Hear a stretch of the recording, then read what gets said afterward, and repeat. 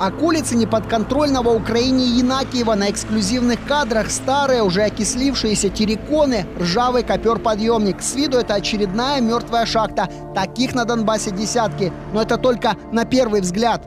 Прямо как бы как тебя то кулаком по спине да, долбануло и все. Ну, приказ был выйти всем, э, кругом рупоры ра- работали, оповещали, значит, всем выйти из, из дома, вынести там свои там, документы и тому подобное. И находиться, ну, а других людей там с, с этих с пятиэтажек это вывозили пионерлагеря. Шахта «Юный коммунар» была одной из самых опасных в СССР. За 20 лет с 59 по 79 тут произошло 235 выбросов газа и угольной пыли. Постоянно гибли люди. Шахта стала механизированным подземным заводом. Для стабилизации пластов породы и угля и уменьшения газоопасности в Кремле якобы решились на необычный эксперимент – создать внутри искусственное землетрясение, взорвав ядерный заряд.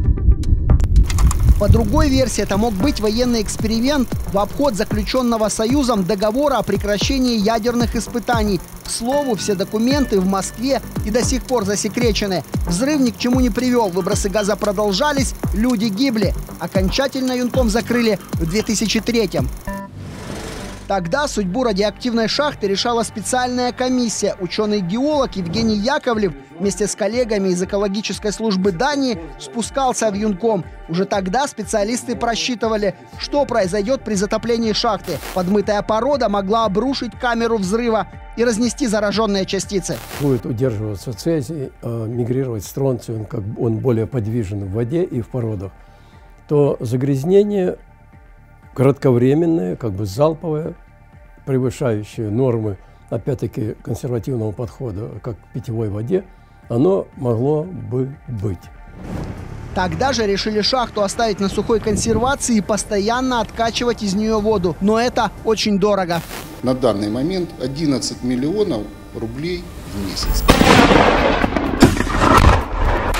С началом войны на Донбассе поползли слухи о возможном затоплении Юнкома. А в этом месяце на неподконтрольных территориях заявили, с 14 апреля откачку воды прекращают. Шахту будут топить.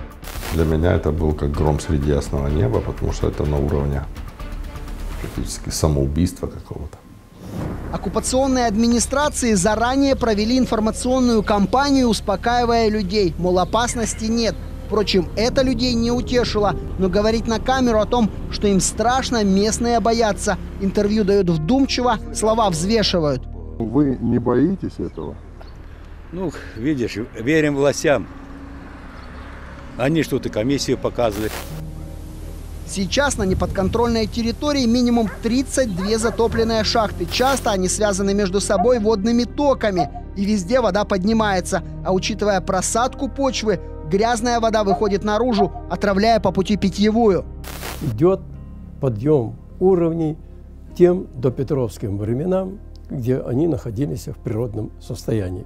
Но сегодня большая часть территории Донбасса в ряде мест ушла ниже этого положения уровня. И у нас формируются участки и подтопления, и затопления. рівень вод урівняється з рівнем земної поверхні. Тобто Донбас перетвориться на болото. А дальше из-за специфики рельефа Донецкого кряжа, отравленная солями, вредной химией и радиоактивными частицами, вода может продолжить дорогу к двум самым большим рекам региона.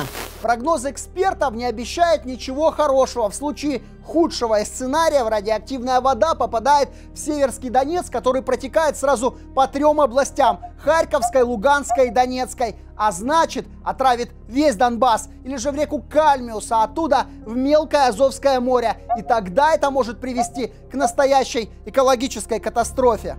Це дійсно загроза катастрофи.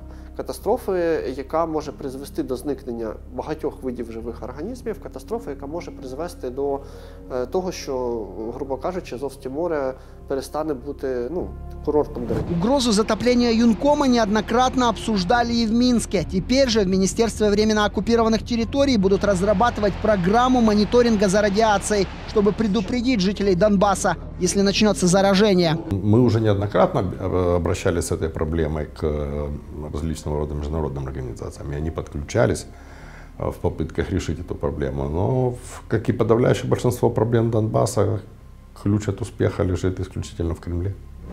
По прогнозам Георгия Туки, в случае неблагоприятного исхода и отравления питьевой воды на подконтрольную Украине территорию хлынет очередной поток беженцев. Примерно 100-150 тысяч переселенцев за год.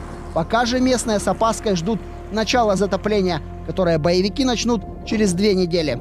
Руслан Смещук, Никита Исайко, Донбасс Реалии, Радио Свобода.